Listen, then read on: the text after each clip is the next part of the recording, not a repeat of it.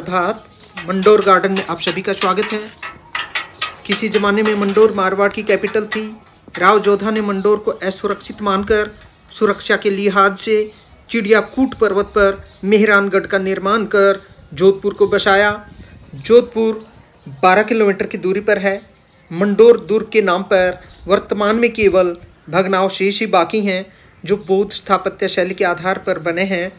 यहाँ मांडव्य ऋषि का आश्रम था। इस नगर का नाम रावण की रानी मंदोदरी के नाम पर पड़ा। लंकापति के साथ मंदोदरी का विवाह हुआ था। मंडोर के इन छत्रियों को खाली गुंबद के नाम से भी जाना जाता है। मंडोर एक तरह से मारवाड़ शासकों की कब्रगाह है। मॉर्निंग दोस्तों। आज सुबह की इस प्रभात वेला में मैं आपको दर्शन करवाता हूँ इस मंडोर गार्डन के, जहाँ अभी अभी हम सुबह सुबह पहुँचे हैं। आप देख पाएँगे इस भव्य मंडोर गार्डन को, जो छतरियों का गार्डन भी कहा जाता है।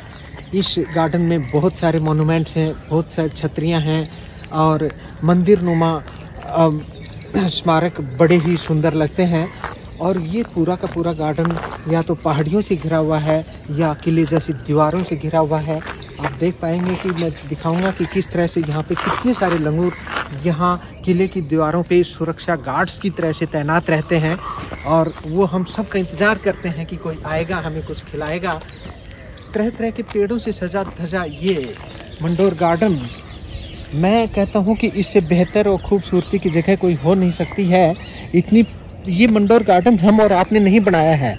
हमारे 600 साल पहले हमारे पूर्वजों का बनाया हुआ ये मंडोर गार्डन है और इस गार्डन की शोभा देखते ही बनती है।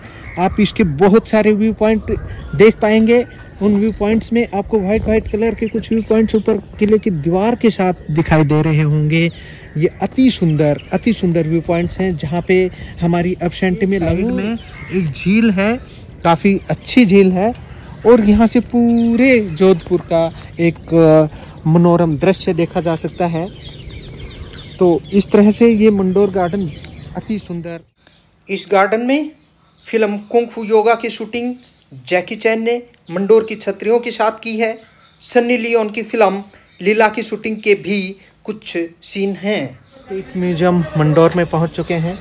ये मंडोर संग्रहालय है और जैसे ही हम पहुँचे हैं, अभी लगभग आठ ही बजे हुए हैं, लेकिन ये दस बजे इसका खुलने का टाइम है। अनफॉर्चुनेटली हम आज उसको नहीं देख पाएँगे, क्योंकि आज इस संग्रहालय की छुट्टी है।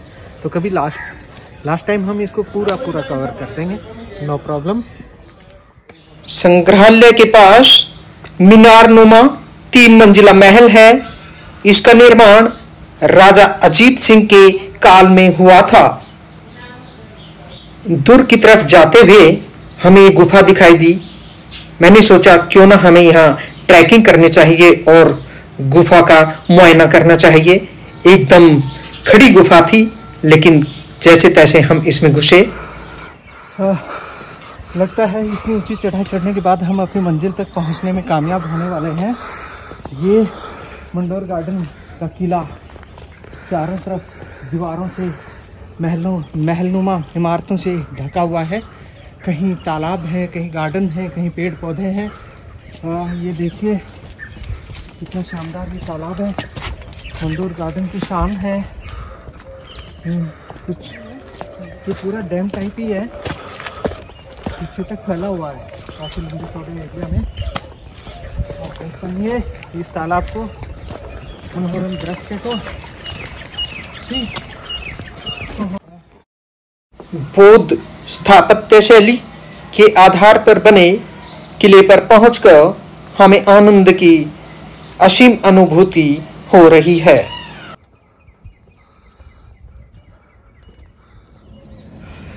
ओह काफ़ी ऊंचाई चढ़ने के बाद हम चामुंडा माता मंदिर, मंडोर के इन हवाई किलों में पहुँच चुके हैं। और जैसा कि आप जानते होंगे, भारतीय पुरातत्व सर्वेक्षण मंदिर है। और इसको पूर्ण संरक्षा प्रदान है। अभी यहाँ से आप पूरा देख पाएँगे चारों तरफ़ पहाड़ियों का ये विहंगम दृश्य और ये हमारी व्यू पॉइंट्स जहाँ पे ढेर सारे लंगूरों के दृश्य भी देखने को मिलेंगे। ये पूरा का पूरा मंडोर गार्डन उस टाइम अनकंस्ट्रक्टेड रह चुका था। और इसका कंस्ट्रक्शन के बीच में ही मुगलों ने इस पर आक्रमण कर दिया था, जिसकी वजह से अनकंस्ट्रक्टेड है और आज भी अपनी एक्चुअल शेप में खड़ा हुआ है।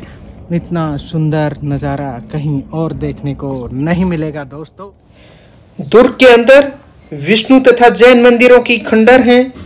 मंडोर गार्डन के पास मंडा गोत्र के जाटों का दुर्ग था और मारवाड़ के बड़े भूभाग पर मंडा जाटों का गण राज्य था। रावण के ससुर राजा मंद से ही मंडा गोत्र का विकास हुआ। राजा मंद की पुत्री मंदोदरी रावण की चरित्रवान पत्नी थी।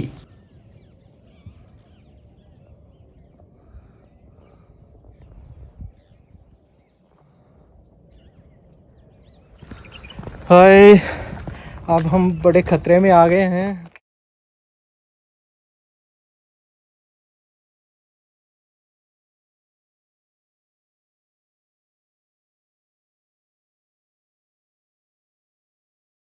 ब्रह्मा मंदिर में प्रवेश करेंगे, जहाँ इस पुराने अवशेष मंदिर की जेड सिक्योरिटी लंगूरों के हाथ में भगवान ने दी थी, और वही लंगूर यहाँ पे आपको साक्षात आज दिखाई देंगे। और मुझे पूरी आशा है कि आप इन लंगूरों की जेड सिक्योरिटी दोस्तों, ये ब्रह्मा मंदिर है जो अनकंस्ट्रक्टेड पोर्शन में छूट गया था, और ब्रह्मा भगवान ने इसकी जेड सिक्योरिटी लंगूरों के हाथों में दे दी थी। तो इस जेड सिक्योरिटी का पूरा कार्यभार हमारे लंगूरों लंगूरों ने संभाला हुआ है। आप असली में मैं आपको उस व्याख्यान से वाकिफ करवाऊँगा जहाँ पे सचमुच कहीं लंगूर जेड सिक्योरिटी करते हुए दिखाई देते हैं। ओ इन लंगूरों के बीच में मैं स्वयं को काफ़ी सुरक्षित महसूस कर रहा हूँ कि इतनी ये लंगूर सेना हमारी इतनी वफादार है। हमारी भारतीय सेना की तरह ये सभी सैनिक भी कभी भगवान राम ने यूज़ किए थे और इसीलिए मुझे आज अयोध्या की और रावण की चढ़ाई की याद आ रही है। लंका पर राम की चढ़ाई याद आ रही है। अभी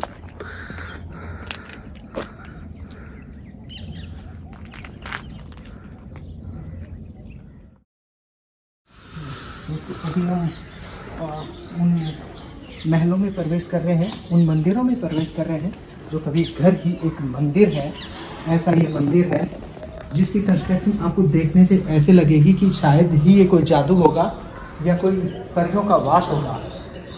आहा, कितना आनंद है, कितना दृश्य है, सब कुछ मंगलमय है। वाह, इस मंगलमय दृश्य में मैं अवश्य ही झूमूँगा, गाऊँगा। सब कहते हैं सब कहते हैं, हम झूमेंगे, हम गाएँगे। ऐसे मंगलमय दृश्य में। इससे अच्छा और कोई मौका नहीं मिलेगा। इसको भी हम चूकना नहीं चाहते हैं। मंडोर की ये शाही छत्रियाँ, यानी शाही शमशान घाट, मरने के बाद यादगारी को अजर अमर करने की एक शासकीय कोशिश। Thank you for watching this great monument आप सभी को हमारा बहुत बहुत साधुवाद। जय हिंद, जय भारत।